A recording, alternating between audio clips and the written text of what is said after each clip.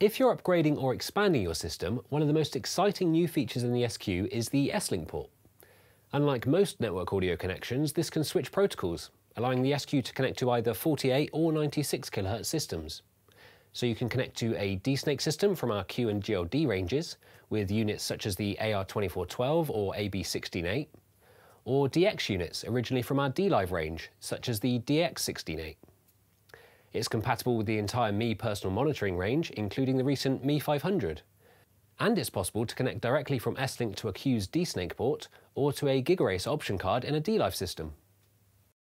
Whilst the SQ is a 48 input mixer, when used with a gigaACE connection, SLink allows you access to 128 inputs and 128 outputs, which is especially convenient when patching to and from a higher channel count system or multiple DX units on a DX hub.